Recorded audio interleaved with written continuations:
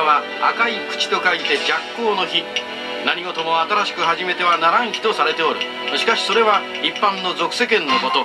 野球の暦では大安吉日じゃ。こういうめでたい大一番で活躍できる運というのが持って生まれたもの。さしずめこの清原という男などはその代表じゃな。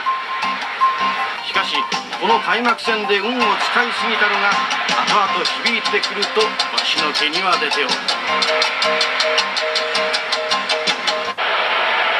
1点をリードされたロッテワンアウトから2本のヒットで一塁二塁バッターは7番の初芝。酒井の高めのカーブを思い切り叩きます。センターオーバーのツーベースヒット。2対1と逆転します。ロッテはこの後さらに2本のヒットで3点を加え打者一巡の攻撃で5点を奪いました。開幕投手を務めたこともあり西崎と並ぶ日本ハムの顔だった角ですが去年は0勝6敗と最悪のシーズン。先発ローテーションからも完全に外されるありさまでした。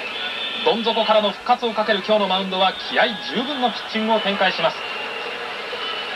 角の力投に応えたのが新外人のベイス。2試合連続の2号ホームランを今日もライトスタンドへ叩き込みます。角は4回。ロッテの新5番バッター堀に逆転ツーランホームランを打たれますがすかさずその裏。日本ハムも4番のウィンタースが2号ツーランホームラン。3対2と再び逆転しました。1点でリードを背負い角は去年の不調が嘘のようなナイスピッチング。勝負どころでのフォークボールが面白いように決まりロッテに反撃を許しません。7回2失点という内容で8回からリリーフエースの武田にマウンドを譲ります。心配そうにベンチから見守る角武田は最後のバッターをサードゴロに打ち取りゲームセット。長い長いトンネルを抜け角が復活の勝利を飾りました。ツーアウト満塁からロッテ佐藤健一の当たりはレフトへ。レフトウィンタース際どいぞ。判定はアウト。もう一度ご覧いただきましょう。おっとこれは完全にワンバウンドがショートバウンドショートバウンドです。これには金田監督飛び出した。どこを見てるんや。頼むから頼むからヒットという敵で。ワンバウンドなら2点入っているこの場面。ロッテファンはがっかりといったところでしょうがロッテのマウンド上にはこんなプレーなど関係なしとばかりにエースの小宮山が仁王立ち。開幕の西武戦で左間になったのが嘘のように日本ハム打線を完璧に抑えます。鬼気迫る小宮山のピッチングの前に日本ハムは4回以降ランナーすら出ないありさまそして8回この小宮山の力投に応えて不調の続いていたディアズが貴重な2号ホームランをレフトスタンドへ。4対1として試合を決めました。小宮山は8回9回も3人ずつで抑え終わってみれば1安打完投で開幕投手面目躍如。2年目の飛躍を望む金田監督の期待に応えました。開幕戦ねまあああいう情けない姿をみんなに見せましたからね。なんとかその信頼を取り戻したいっていう一心でしたからね、まあ、納得のいく投球できたのは本当嬉しいです。人工芝に電光掲示板と14億円かけて改装された川崎球場は今日が初めての公式戦です。1対1で迎えた3回の近鉄ヒットと2つのフォアボールでワンアウト満塁。バッターはチームの連勝とともに調子を上げてきた指名打者2年目の石井。ロッテ先発遠山のストレート。外野フライを狙ったのにまさか入るとはという石井の2号満塁ホームランで近鉄は5対1と大きく勝ち越しました。近鉄の先発はエース復活をかける阿波野しかし今日も球にキレを欠き3回にも2点を失って5回。先頭の古川にヒット。ワンアウト2塁となって4番のディア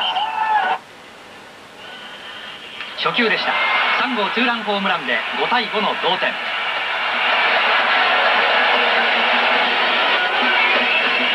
試合を振り出しに戻してしまった阿波野は5回持たずにノックアウトされました。試合が決まったのは6回近鉄の攻撃。先頭の大石がヒットで出ます。ツーアウトとなってここまで3打席凡退のブライアント。ロッテ2人目イラブのストレート。開幕以来5本のヒットが全てホームランというブライアントのツーランで勝ち越し。近鉄は9回にも1点を加え8対5で勝って3連勝を飾りました、7日の初登板で敗れた野茂。野茂人気もあって2万9000人の大入りです。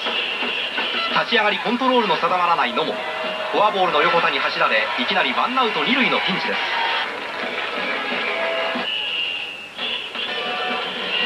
ここで愛光に甘いストレートを打たれます。野茂は2回にも1点を失い今日も苦しいスタートです。ロッテの先発はチーム最年長となった32歳の宋3回ワンアウト3塁2塁と一打同点のピンチ。ここで宋は大石を外角いっぱいのストレートで三振。このピンチを乗り切って宋はペースをつかみます。一方5連続三振を取るなど立ち直ったかに見えた野茂ですが8回に捕まります。売り出し中の若手堀に3号ホームラン。さらにディアズにもストレートをライトスタンドへ運ばれます。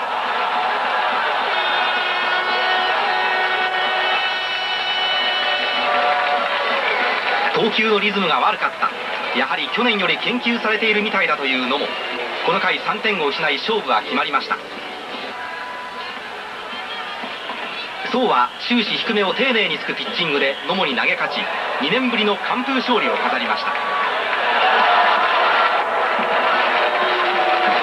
どうですか？久々の完封の味は？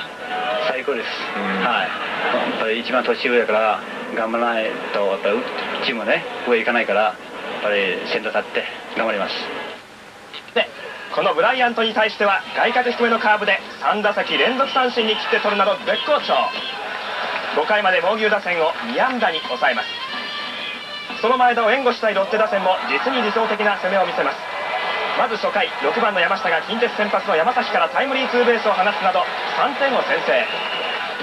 さらに7回には今日31回目の誕生日を迎えたディアズがハッピーバースデーホームランとはいかなかったもののきっちり犠牲フライを放ち後押し。そして8回まだ打率1割ながらパワーだけはあるドラフト2位のルーキー上詰。文句なしのプロ入り初ホームランを放ち金田監督を喜ばせまた女房役として前田を楽にします。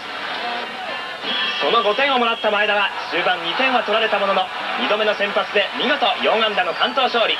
投打がうまく噛み合ったロッテ。今シーズンは手強いぞ。監督からもこの間監督が今度関東戦勝ったらお前分かっとるやろうなって言われてたから もう今年今日はねもう気合い入れてね、えーまあ押したっていうような感じで